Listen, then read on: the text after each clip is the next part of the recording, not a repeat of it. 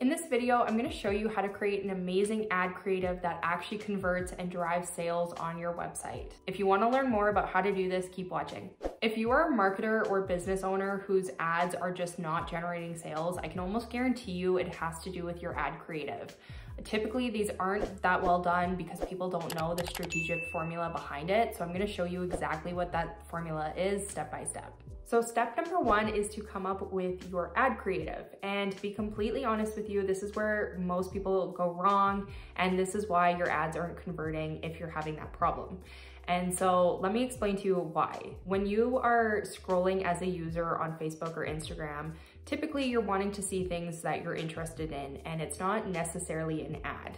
And so ads really need to pull it together and really grab attention in those first one to three seconds that they have. Now, luckily there is a specific strategy that you can use that's gonna help you with this. And I'm gonna show you exactly what it is. Now, in the first one to three seconds, you have to be able to communicate what the product is, what it does, and who it's for. And you can do this through a few different methods. You can use it through the image creative you're using, you can do it through video, and you can also do it through words as well. Now, the next piece of your ad creative needs to entertain, educate, and inspire. So ideally it wants to do all three things, but you can get away with just doing one, but I don't recommend it. So let's go through education first. Your ad should teach somebody something new. They should be able to get value in some way, shape, or form through watching your ad. Number two is to entertain your audience. So there are a variety of ways to do this. You can be funny, but if that's not your thing, what you can do is you can switch up the ad creative every one to three seconds and the visual changes actually keep people engaged on the ad and they can entertain people as well. So you can also add music to add into this. Another method that's commonly used is to actually tell a story um, and be able to connect to people that way as well. And number three is creating some sort of inspirational emotion within somebody. So this can be done through something surprising, something shocking, something um, amazing that is not very common. And so you can do this through highlighting social impact. You can do it through creating life or showcasing life-changing events. And you can also do this through transformation as well. Um, your videos and your image creatives can also help add to this element. And finally, the third piece of your ad needs to be able to magnify the benefits. It needs to minimize the time or the work required to get there. And it also needs to minimize any perceived sacrifices. So usually this comes in the form of either like time or price.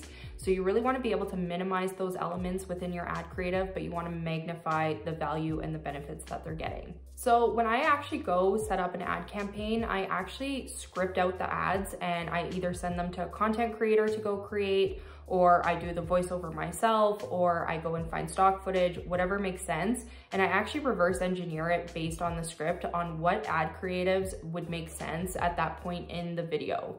Um, as a side note, I highly recommend you do create videos just because it's easier to incorporate all these different elements and it can actually elevate people's engagement with your ad, which also helps um, boost the performance and lower your costs, especially on Facebook. Something else that you wanna make sure that your ad creative has is it should have captions in it somewhere. You can use a lot of free software tools to help you with this. Um, you can manually type them in using a video editor. Um, ideally, your ad creative should be no longer than I would say 30 seconds, but definitely no longer than 45. And once all of that's set up, now you wanna create your copy. So once again, I set up all of this stuff before I even look at Facebook or Instagram or whatever software I'm using to run my ads. And the reason why is because once you have all these different elements built out, then it's really fast to just go and plug into the software and then publish them. When it comes to creating the headline for your ad, what you wanna do is use your most compelling result or you want to put in your offer directly. So if it's like 10% off or, or um, let's say like, do you want a sparkling clean home or something along those lines, that's what you wanna plug into your headline. Then for the actual body copy, what you wanna do is you wanna start with a really simple hook. So this could be like, do you want, and then insert whatever desired outcome you're offering. And then in the for the rest of the copy, what you wanna do is you wanna highlight all the benefits and the features that they're gonna get. So typically you wanna tie a benefit with a feature. People typically will buy based on their emotions and the feeling or the result that they're gonna get from the offer. So if you're just listing out like all the tech features, for example, um, that's typically not going to be what sells them on the product. What you wanna do instead is you wanna say like, oh my gosh, you're gonna take these amazing photos. People are gonna think you're a professional photographer. And then you can go into the features after you make the benefit statement.